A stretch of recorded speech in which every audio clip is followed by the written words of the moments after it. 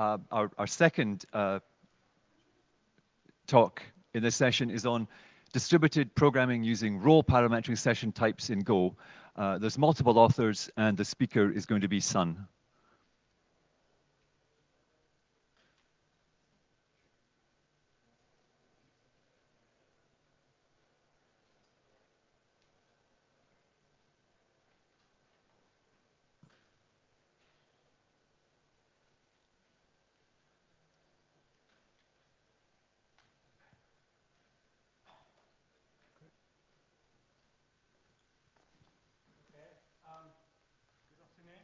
Sung-Shik Jongmans, and I'm going to talk about distributed programming using role parametric session types in Go.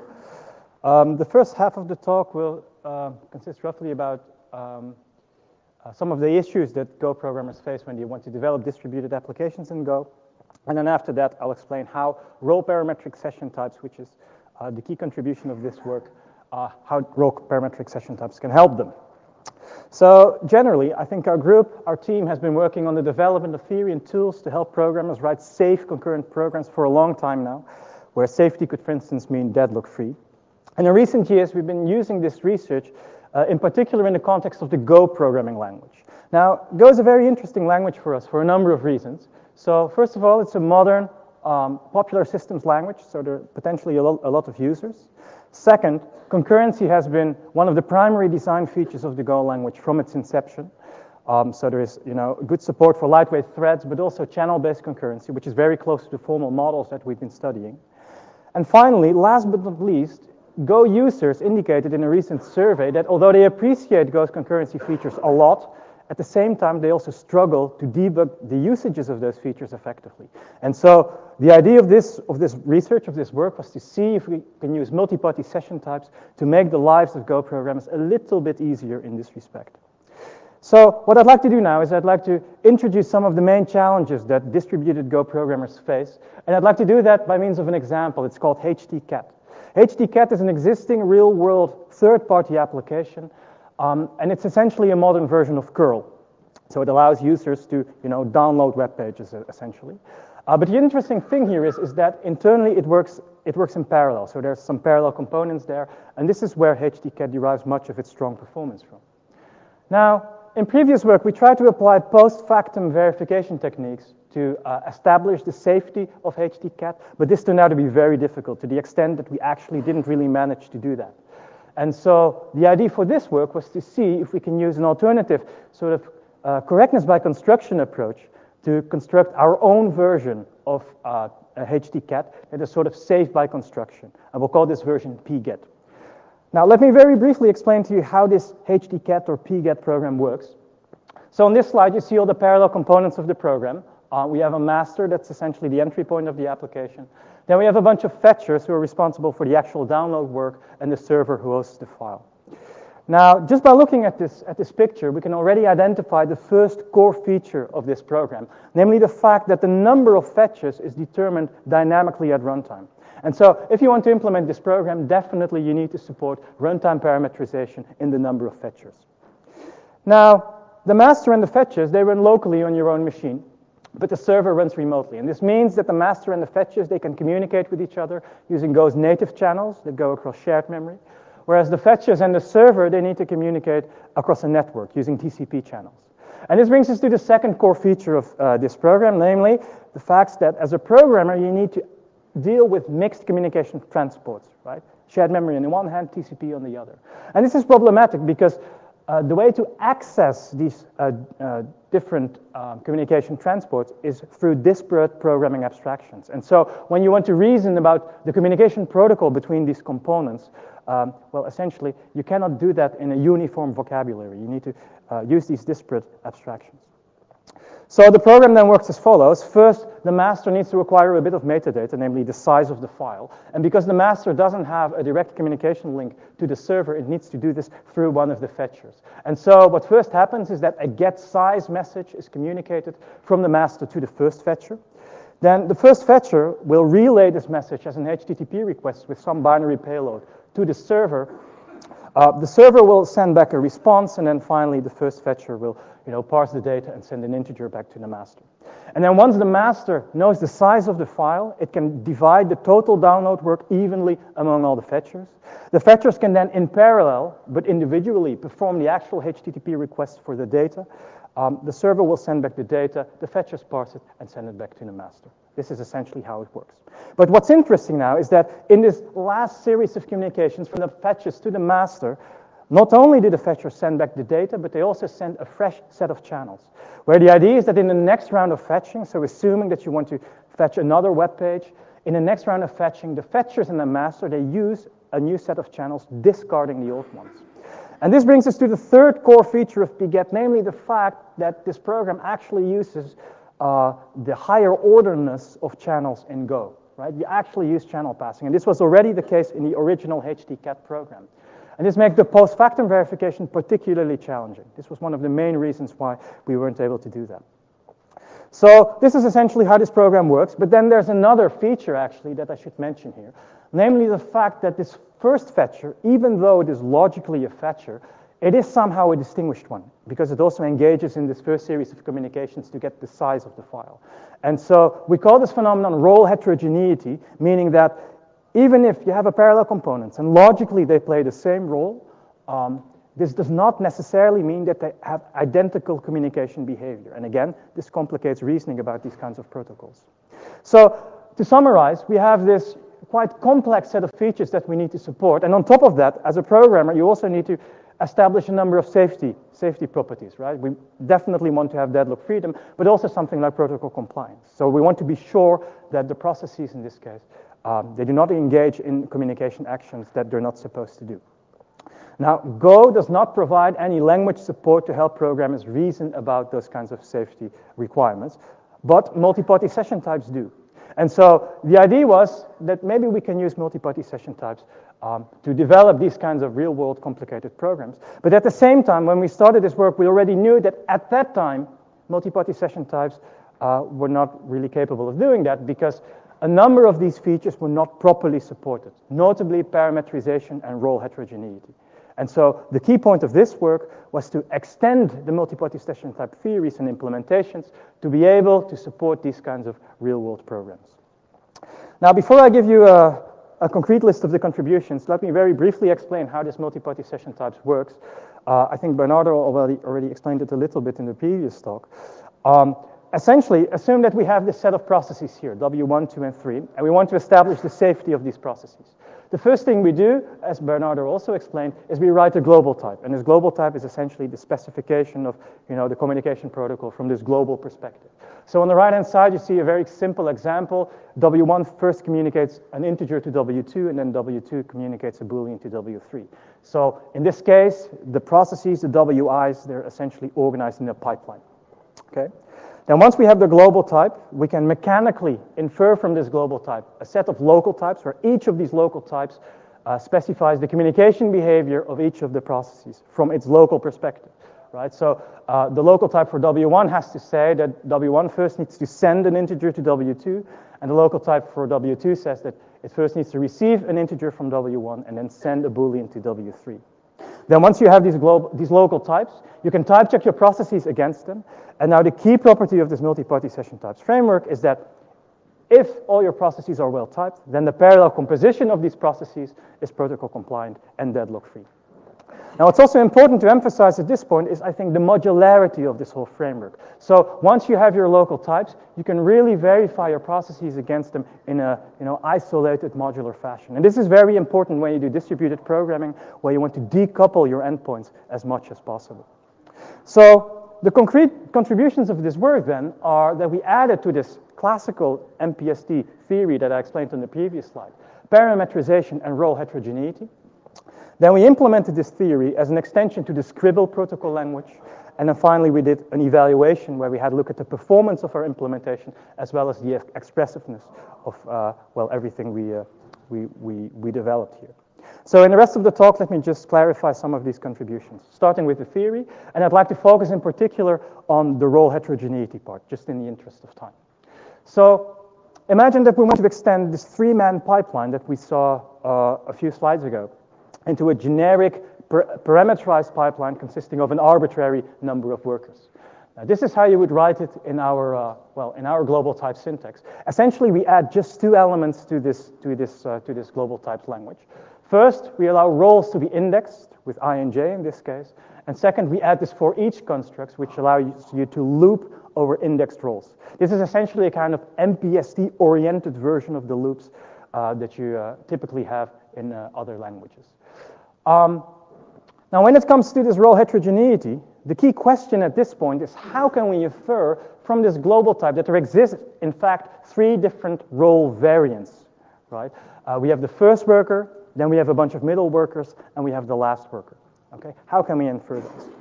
Now, the key um, insight to do this is to observe that the communication behavior of a worker X is actually fully determined by the intervals in the for each headers that contain X. So in other words, if you have two workers, X and Y, and X and Y are contained in exactly the same intervals, then worker X and worker Y must have exactly the same communication behavior.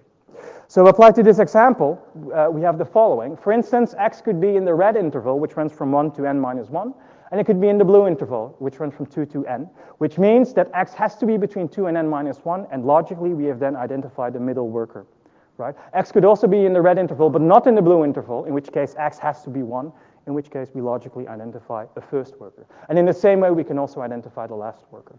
So generally, what we do is we, ident- so we analyze the intervals that occur in the global type, then we consider a bunch of cases, and in this way, you can, in a decidable way, infer all these role variants.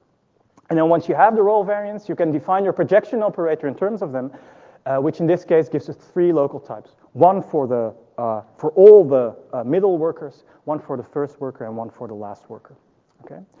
Now the, the theorems that we then prove is that inference of role variants is decidable. Uh, checking well-formedness uh, of parameterized global types is decidable as well. And then our correctness theorem states that if you project a well-formed global type, then essentially you preserve the semantics of your global type. And this is enough for the purpose that we need. So then we implemented this uh, theory as an extension to the Scribble protocol language.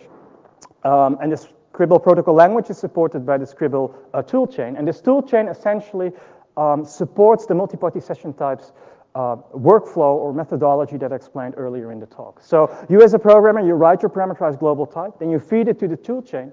The toolchain will then do the projection for you, it will compute your local types, and it will output a representation of these local types as APIs right? So you will generate one API for every local type that you have. And then the idea is that you as a programmer, if you want to implement a process, you use the generated API. If you do that in a well-typed way, then you get the multi-party session types uh, guarantees. Now to make this a bit more concrete, let me show you a very brief demo video to show you how it works. So here you see uh, uh, the representation of the parameterized pipeline in the, in the Scribble language. You also see at the top three other files, first.go, middle.go, and last.go, these contain the process implementations, right, for, for the workers. Now, right now they're still a bit, uh, they still contain errors because I haven't generated the code yet, so there's still some dependencies missing. But if I click on this button, um, then the APIs will be generated, and at least the errors in first.go and last.go will go away. But we still have one in middle.go. And essentially, this error tells us that uh, we haven't implemented a process for the middle worker properly yet. And apparently, this is something that the type checker can catch. And the reason it can catch this is because this function, which is supposed to implement comprehensively this middle worker, goes from an initial state to an end state, but we're not producing the end state yet. Okay? So these states, essentially, the way to look at your global, or one way to look at your local types, is to perceive them as state machines where transitions of the state machine correspond to um, communication actions that a process in a certain state of the protocol is allowed to perform. And so, under this sort of operational interpretation of your local types, uh, essentially what you need to do to implement your process is to just fire transitions until you reach a final state. And the generated APIs support this by having a separate method for each of the uh, uh, uh transitions. So you just need to call methods of the, uh, of the API. So if we want to implement this, well, we start with this S1, of course, the initial state. And we know that in the initial state, the middle worker can only receive from its predecessor. And what's very interesting now is that um, the auto-completion function of my IDE will actually guide me towards using the right method functions uh, that have been uh, generated in this API. So uh, the API is only one method in S1, namely to receive from the predecessor, and the IDE helps me to select this one. Now then we have the successor state S2. In this state, we can only send to our successor. And again, um, the uh, um, autocompleter of the uh, IDE tells me exactly what I need to do. Um, then finally, I can uh, return this, uh, uh, this S3 state, the final state. I can try to rebuild the application, and then the errors, uh, they go away, and I can just run it. Okay, so this is, in a very tiny nutshell, how this implementation works from a user perspective. So, um, right. So what our implementation guarantees is, first of all, correct index management, which has been completely internalized in the, in the generated API, which is actually very nice because it's a common source of errors. Right? So that's something that programmers do not need to think about anymore. In addition to that, we also have protocol compliance and deadlock freedom up to a number of, I would say, standard assumptions uh, in multi-party session type implementations. For instance, if your program contains an infinite loop that is outside or unrelated to your communications, well, then we, we cannot guarantee deadlock freedom. And we achieve this just through uh, native Go type checking, and also we have a bunch of lightweight runtime checks for linearity, although there are also other styles of APIs that we can generate where you don't even have those runtime checks. So we also did an evaluation, uh, which consists of two parts. First, we had a look at the performance of the whole uh, framework. Uh, and here we essentially compared the performance of generated APIs against handwritten, optimized uh, communication code. Um, so when you look at the graphs, essentially y equals, or the closer the colored lines are to y equals 1, um, the more similar we perform to the handwritten code. Uh, so I think this looks pretty good. Um, this is, uh, uh, this is uh, let's say, the relative performance, but if you look at the absolute performance, then in the worst case, we're about 20 nanoseconds slower for a single communication, which is often negligible in uh, real world uh, uh, applications. Then on the expressiveness side, we also, we also did an evaluation there where we basically just looked at a lot of examples. Um, number nine is pget, the running example of, uh, or the motivating example in the talk. We also did a pipeline. We did 19 others as well. I have to refer to the paper for uh, uh, the details. What else is in the paper? Well, we have some more details on the, uh, on the language of global types that we have. Uh, we have some more implementation details. For instance, we also have transport independence, so we provide programmers a uniform interface um, uh, that they can use to uh, use both TCP and shared memory, which was also an important uh, feature of this pget program. And then there's a technical report with even more details. Um, I think this is everything I wanted to say. This is just a slide with the contributions again as a summary. Uh, thank you very much for your, uh, for your attention.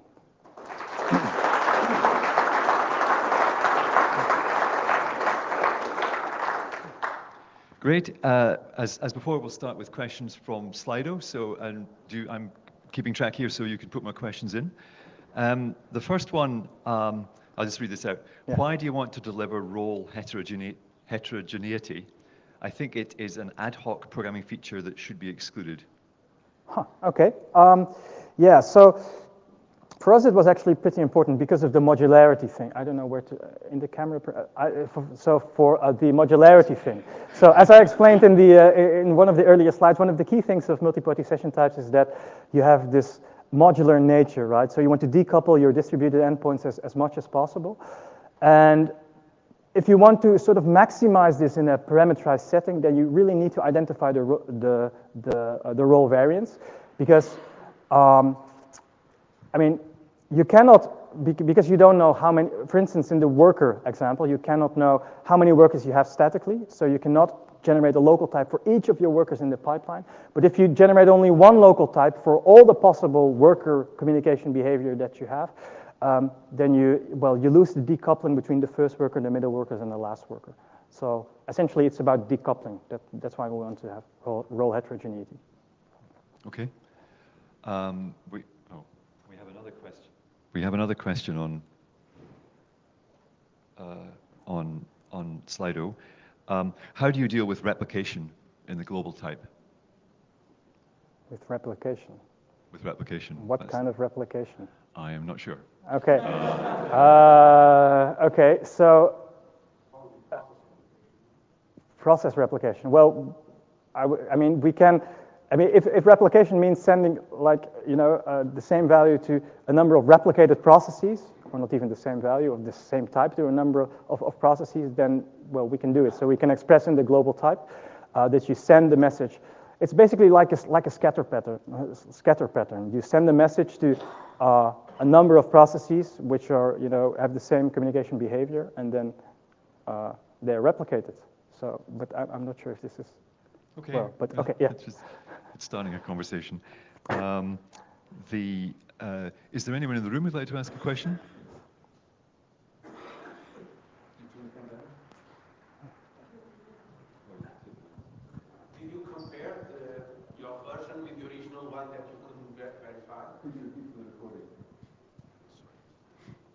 So the question is, did you compare the original version that motivated and you couldn't verify with the new one that you propose in some way? Uh, you mean like the behavior of, of the programs? Yes.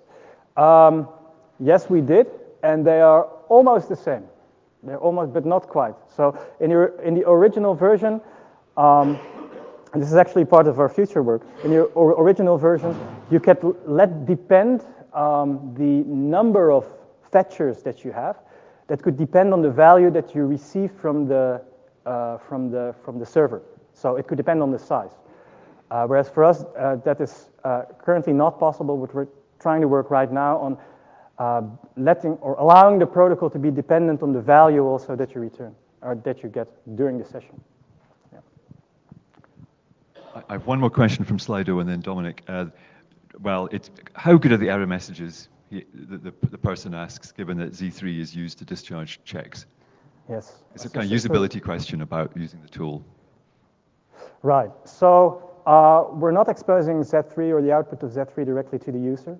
Uh, essentially, we use Z3 for very simple, well, for relatively sim simple checks on the, on the intervals. So for instance, we want to know that uh, the interval in a for each header is never empty. So it's very simple things. Okay. All right, uh, we're out of time, so let's thank the speaker again. Thank you very much.